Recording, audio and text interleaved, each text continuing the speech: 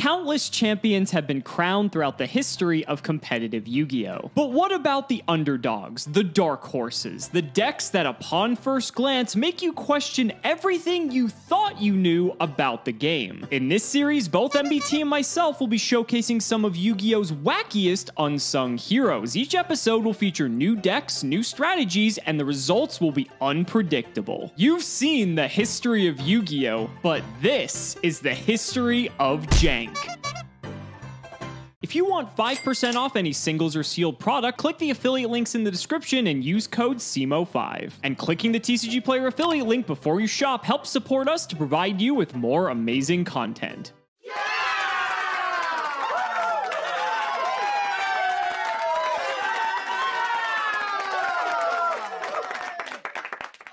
And we are back with History of Jank, and I am in the uh, in the Jank tank. I'm in a tank. Uh, I seem to have misplaced the Jank tank. In my defense, it's been about nine months since I last lost a game. I was just expecting I'd win out from this position. Uh, I'm sure it's in the wash or something. In the meantime, let's see what we've still got on the wheel. Gem Knight, Resonator, and Prediction Princess, and I'm just going to be completely honest with you. I'm going to respin until I hit Gem Knight. That's what I feel like playing today. Nope, that's not Gem Knight. Keep going. Keep going. There we go. That's what I'm talking about. Oh, oh my, oh my god. I have sleeves. I'm out of the jank tank and it's it's thanks to Fluffle of all things. That's incredible. I, I mean, honestly, Joseph was playing a gimmicky FTK deck and he whiffed. But in any case, Fluffle got us out of the jank tank, ladies and gentlemen, and we are planning on staying here. So let's spin the wheel. Uh, we got some decent decks, and let's hope that... Oh, while it may suck to have lost our first jank in about 100 years, I'm very happy I get to run it back with one of my favorite decks of all time, Gem Knight. You may know Gem Knight as a degenerate FTK strategy which was legal for the better part of two years, Solid Rock's brother and the like. But in actuality, Gem Knight was playable far earlier thanks to a little card you may have heard of called Brilliant Fusion. This continuous spell is analogous to Future Fusion, an incredibly powerful tool abused by a ton of decks in order to send cards from the deck to the graveyard. But nowhere is it more powerful than in its namesake deck Gem Knight. Eventually, cards like Block Dragon would push this strategy over the edge and allow it to use the newly released Lady Lapis Lazuli to burn the opponent to death on its very first turn, but now we are playing it as intended as a blind second OTK strategy. So what's the game plan? Well, as you can see, a significant amount of our deck is normal monsters. Tourmaline, Sapphire, Garnet, and Lapis. Those cards enable us to make use of a couple of really powerful effect monsters, Obsidian and Lazuli. By utilizing their effects, we will never run out of normal monsters. Lazuli adds them back to hand, and Obsidian summons them back to the field, which means we'll always have material for repeatable copies of Gem Knight Fusion. This fusion spell is polymerization, but can banish a Gem Knight from the graveyard to add it back to your hand to get multiple fusions onto the field on your very first turn. From that position, you are set. We've got copies of Gem Knight Zirconia, which has, you know, big number. We've got Gem Knight Lady Lapis Lazuli, which is a 2400 attack monster that has to use Gem Knight Lapis, and once per turn can send a Gem Knight from your main or extra deck to the graveyard to burn your opponent for 500 for each special summon monster on the field. We have Gem Knight Lady Brilliant Diamond, which has 3400 attack, requires 3 materials, and can send a Gem Knight monster you control to the graveyard to special summon a Gem Knight Fusion from your extra deck, ignoring its summoning conditions. Gem Knight Master Diamond, which can copy a Gem Knight's effects in the graveyard, including the Lapis Lazuli, in order to burn for even more. And of course, Old mainstay Gem Knight Seraphinite, which allows you to perform a double summon. Because we have access to more fusion monsters, we're also playing Gem Knight Citrine, Prismaura, Amethyst, and two copies of Ruby, which theoretically could come up. Uh, Ruby gives them piercing, for instance. Finally, I'd be remiss if I didn't talk about another very powerful fusion card that's playable in exactly Gem Knight, Absorb Fusion. This card allows you to add a Gem Knight card from your deck to your hand, then apply this effect. Fusion summon a Gem Knight fusion monster from your extra deck by banishing fusion materials listed on it from your hand or side of the field, and you can only activate activate one per turn and can't special summon monsters the turn you activate this card except Gem Knights. That last sentence is the reason it never saw mainstream TCG success, but for our purposes, it's fantastic.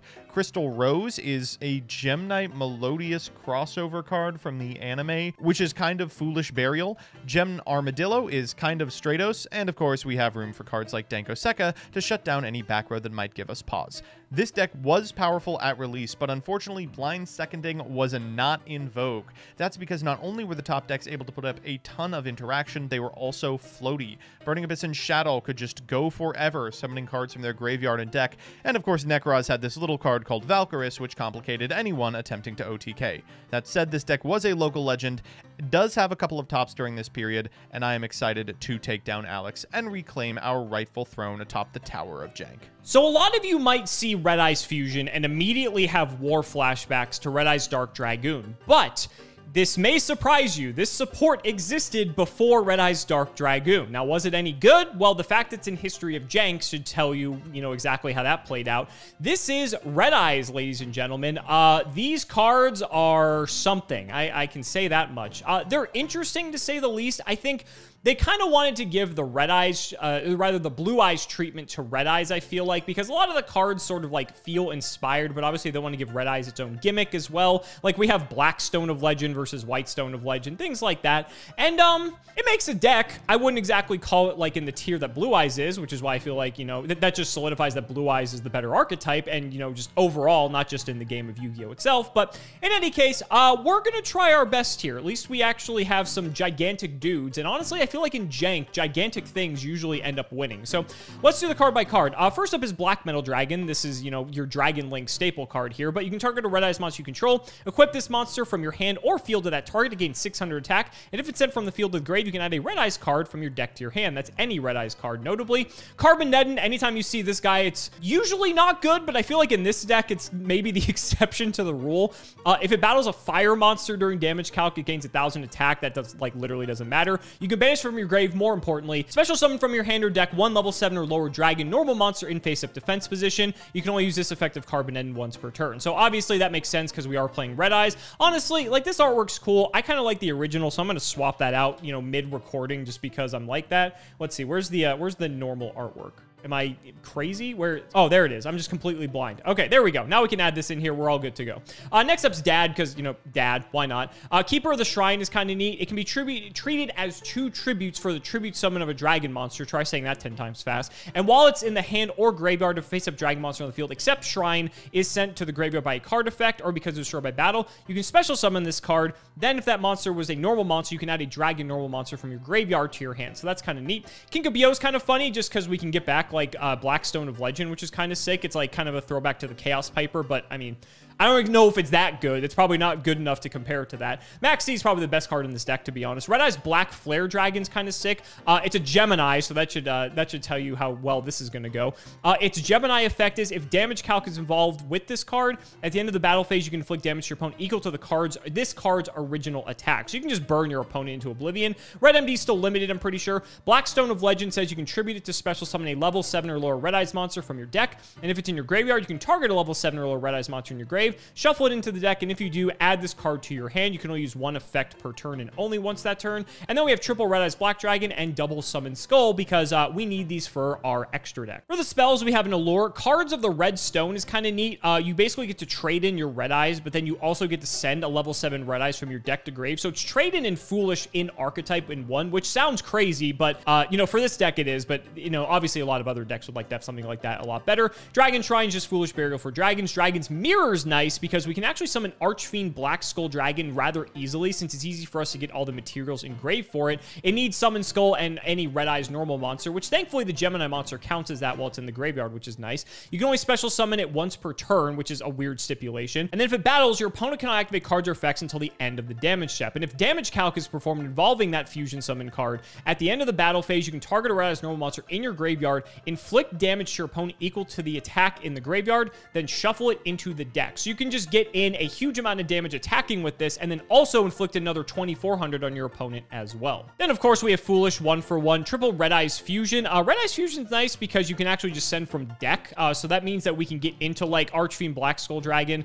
and then, like, have Dragon's Mirror for the next turn to just continuously summon big dudes. Uh, then we have Silver's Cry for our normal monsters. We have Soul Charge because it's broken, triple Upstart Goblin, and then the Traps, its Vanities, and Return of the Red Eyes. If you control Red Eyes monster, you can target normal monster in your grave. Special summon it if this card in your possession is destroyed by an opponent's card and sent to your graveyard. You can target a red eyes monster in your graveyard. Special summon, you can only use that effect once per turn. The extra, of course, we have the triple Archfiend Black Skull Dragon. Then we have a ton of Xyz, including Gaia Dragon, Ghost Trick Angel of Mischief, Dullahan, and then we have Mecha Phantom Beast Dracossack, Big Eye, and Dyson Sphere making an appearance again two episodes in a row. Uh, we can overlay two Archfiend Black Skull Dragons into this. I don't know if we would want to do that, but it'd be very fucking funny considering the way last episode went. Utopic Future, uh, Phantom Fortress, Enterblathnir, and triple Red Eyes Flare Metal Dragon. If you've never seen this card before, this card's kind of sick. Uh, it's any two level sevens, cannot be destroyed by card effects while it has material, and while it has material, each time your opponent activates a card or effect, inflict 500 damage to your opponent immediately after it resolves. And then once per turn quick effect, you can detach an Xyz material, target a Red Eyes normal in your graveyard, special summon it. So it's pretty good. I mean, it's kind of like a Cyber Dragon Nova mixed with like a,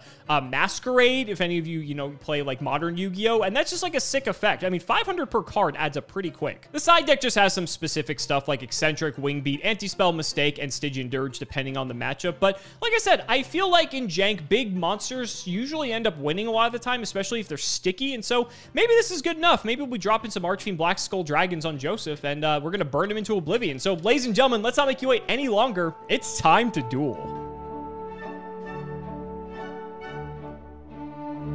Joseph, I can't even remember the last time you were in the tank. I feel like it's been. Yeah, tell me about it. Uh, this thing, um, it, it, it almost, it's, it's stale, if nothing else. Yeah, that sounds about right. Uh, I'm excited. I think the last few decks that I have on my wheel are actually, I don't want to say they're good, don't get me wrong, but they're, I guess, neat, or they got like some fun stuff, and I think they're like decks that people enjoy watching. I don't know about your decks and what you've got going on over there, but I feel like your decks are uh, usually pretty enjoyable. How are you feeling? Better? Be- better, better, I will say. Better than Better than Dyson Sphere Turbo? a little You sure? better, a little better than Dyson Sphere Turbo, I will say. Um, yeah, um, I don't know. I I do appreciate that you knocked out the terrible ones. I'm shocked that you won with one of them, and uh, now we're gonna see if I can uh, clean some up with uh, the dregs on my board. Yeah, we'll see indeed. We'll see indeed. Shout out to Patron. RPG, thank you for the support. Do you have the hand up? No, all right, I got it. All right, I rolled a four for. I, I don't think I have a single level four monster in my deck, but I might be wrong. I rolled a one. How many times I'll need to resolve a very specific card? Great. Not looking forward to that based on the sleeves. Let's All right. see if you uh, Best look of luck. forward to going first.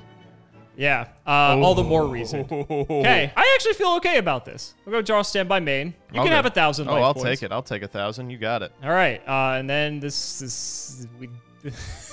That's all we're doing. Go Oh, ahead. okay. Sounds good. Stand Great me. deck. Great deck. Yep. Um, well, let's start by normal summoning Gem Armadillo. There it is. Uh, Gem Armadillo is fine. I, I bet is gonna be loving this episode. All right, we're going to grab a Gem Knight from deck to hand, and we're going to grab Obsidian. Seems pretty good. Where do we go from here? You make a Phantom Quartz, right? That card's legal. Ha ha. All right, uh, we are going to go Gem Knight Fusion. I feel like I have to do this or I'm dead. Oh my god. this card's back. It's not history anymore, buddy. Dog, come on. I can't beat this shit. To be honest, if I don't Oh, draw man. a specific card, I don't think I can beat it either. All right. Cool. Another Gem Armadillo. Oh Jesus! I'm gonna just get beat down by armadillos. You're you're Yep. getting fucked eventually. At some point, Yep. you are really gonna. It's right now, as a matter of fact. I have one turn.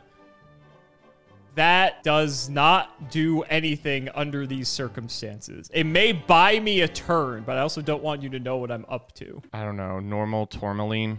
Great deck. Great, Aw- great game. awesome game. Great Awesome game. this is so bad. Yeah, um, I, I want to tell you about how bad it was, but you don't know what I'm playing yet, so I kind of want to keep that hidden. I kind of want to, I know what you're playing, but honestly, I think I have to go first. Yeah, I don't know hey, if that's correct. If you insist, buddy. If you insist. Okay. Oh my god. I feel like I needed that to be in the deck. Why is this so bad? Okay. Okay. I think I have to make this play because otherwise we're not like doing anything. Dragon Shrine. I'm going to dump the all powerful Red Eyes Black Dragon to the graveyard. Uh huh. Now, this is a normal monster, so I'm allowed to send another dragon from my deck to the grave. And I will send the Black Stone of Legend. I will use the graveyard effect of the Black Stone of Legend to shuffle the Red Eyes into my deck and add this to my hand. I'm still with you. I will set two cards and pass. Awesome. Standby. yeah. Main. All good. All right, suck my dick, idiot. That better not be Oh, vanities. great. Gemini Fusion. Yep. All right, we are gonna fuse. Damn, I want to make the big one. The Zirconia. We're gonna send Garnet and Lapis to the graveyard. Uh, Typically, Garnet's a Garnet, but not in its own deck. for Lapis Lazuli. Sure. Uh, we will activate the effect of Lapis Lazuli um, by sending a Gem Knight from our main or extra to the graveyard. We are going to send Gem Knight Lazuli. And I'll take 500 since that's the only special summon monster on the field. And then we're going to activate Lazuli to grab this uh, Lapis back to hand. Sure. All right, well, that's cool. Uh, next up, we are going to activate another Gem Knight fusion. Okay. Uh, we are going to fuse Gem Knight Lapis and Crystal Rose Okay. into Gem Knight Zirconia. Big boy. We are going to activate Gem Knight Fusion's graveyard effect uh, oh, to banish, I guess, Garnet and add this back to our hand. Yep. Um, and I think I think we're Gucci here. We're just gonna go combat. I'm hoping that that's the rock. Uh, we'll just attack here. It is Carboneddon. Oh, all right. Uh, 24, 29. all I'll take 24, 29. Yep. All right. Uh, back to you. Okay. We got some work to do here. We'll draw. Oh, excellent. That's, that's fantastic. Uh, I did not shuffle my deck after putting this Go red it, eyes buddy. back on top. So I'm going to go do. ahead and do that. Yeah. Thank you, Log. I appreciate that. I'm going to draw it anyway, knowing me. Ah, that's actually infinitely better. Okay, now we can game a bit. Okay. Uh, we're going to go Blackstone of Legend. Blackstone of Legend effect. Yeah, We're going to go ahead and bring out, may shock you, the Red Eyes Black Dragon. There it is. Don't believe that has to be in defense. No, I it think does Carbon not, Dead is yeah. just defense. Yeah, that can go in attack. Okay, we're gonna banish Carboneddon anyway. Uh, any level seven or lower dragon normal. Well, thankfully, Red Eyes Flare Dragon is a Gemini, That is true. so that works. Uh, Uh, if I, not, I think it doesn't because Oh, it's, does it not? only a normal while it's in the field or the graveyard. fucking Gemini effect. Okay, I can do this in the reverse order. I can Blackstone for Flare, and I can Carboneddon for Red Yeah, Eyes. yeah, So yeah, it's yeah. fine. Yeah, same order. It doesn't matter because I'm overlaying anyway. It's fine. This guy is a. Oh, cool large seven that we eye. can go for. Uh, let's go ahead and detach here. Mm-hmm. We're gonna take your Zirconia. Next, uh, I'm actually gonna detach the regular red eyes. Put this back on here. Next, we're gonna go Foolish Burial. Uh oh. Yep. I'm gonna dump the Summon Skull.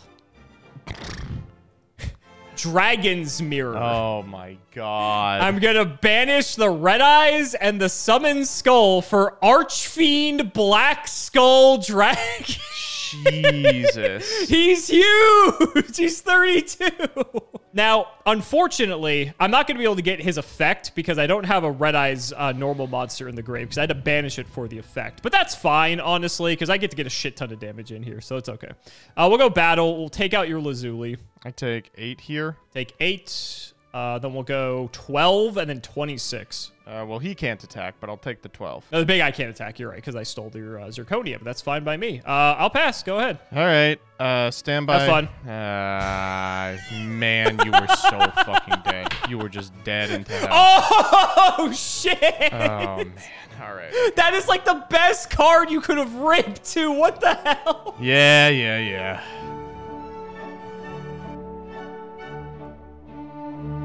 You better not draw vanities for the third time. uh, three times in three games.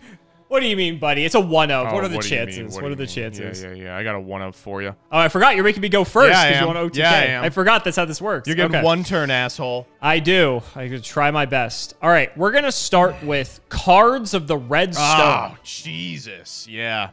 So we're gonna pitch this red eyes, draw two, and then we get to bin a level seven red eyes from our deck to grave. Cool. So uh, we'll get rid of the flare. Don't know if it really matters, but we'll just get rid of him.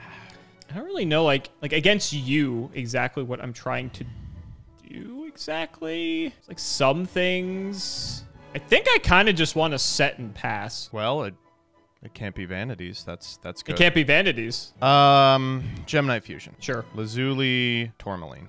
Zuli's always good for fusion. Uh, we are gonna go for. Wait, let me check the type on Lazuli. Okay, good. I was like, can we actually do something Rock. funnier? Uh, no, we can't. Um, yeah, we're just gonna make Zirconia here. It is what it is. Uh, we'll go Lazuli here. Grab back Tourmaline. Sure. Uh, and then uh, let's get ready, asshole. Jesus. Okay. Yep. All right. Uh, we are going to send Crystal Rose and maybe maybe we just go for broke. Do you have any guys that just pop face downs? Uh, let's go Lapis and Obsidian Sure. for the, the woman. Uh, Yep. We'll go Obsidian, target Lapis. Yep. Uh, Lazuli effect. I'll take 15 here. Oh, wait. Uh, Obsidian doesn't trigger here. Sorry, we'll do someone else. Oh, because that has to go from hand. Yeah. Yeah. The joy of this deck. We'll send Lapis and a Gem Knight monster. Kind of want to just send Lazuli again. That doesn't seem right. Let's send Garnet. Uh, we'll grab Lapis Lazuli. Uh, we will activate Lapis Lazuli. We will And send dump, and I'll take a thousand. Abadadub Lazuli. We're going to activate the effect. We'll add back Lapis. Uh, we are going to activate Gem Fusion here. We're going to banish this Lapis. We are going to activate Gem Knight Fusion. Uh, we are going to do Lazuli, Lady Lazuli, and Lapis for Master Diamond. Master Diamond. Yeah. We'll go Lazuli, target Lapis. We'll go Master Diamond, banish Lapis Lazuli. We'll go And copies it. Fusion, banish Lazuli. And then we will go Fusion. Dueling Book is just overwhelmed by your plays. We'll send Tourmaline and Lapis. Grab our last Lazuli. Uh, let's grab Fusion here. Uh, we'll wait on Fusion actually because we want the extra 100 on Master Diamond. Uh, let's go Lapis Lazuli. Take 15 here. Yeah. Um, send any Gem Knight from your main or extra. Ooh, we could send one of the Gem Knights to later copy with Master Diamond. That's crazy. We ain't doing that shit though. Yeah, let's send a Lady Brilliant Diamond. Uh, combat. Sure. Uh, 24. Carboneddon again. Uh, you got it. Man, oh my god. Brilliant Fusion Uh, is so broken. Holy shit. Yeah, like the fact that none of these cards have like once per turns is crazy. It's or if they are, they're like softs, right? And Uh, just like there's so much recyclability and just oh, it's ridiculous. Yeah, uh, Master Diamond's a soft. Lapis Lazuli's a soft. Fusion just doesn't say once per turn anywhere on the card. No. Neither does Lazuli. Um, there's some uh, Brilliant Fusion is uh, a hard one, so you know that's something. Um, But to be fair, Brilliant Fusion is the most broken card in the deck. yeah, so- as is Absorb Fusion.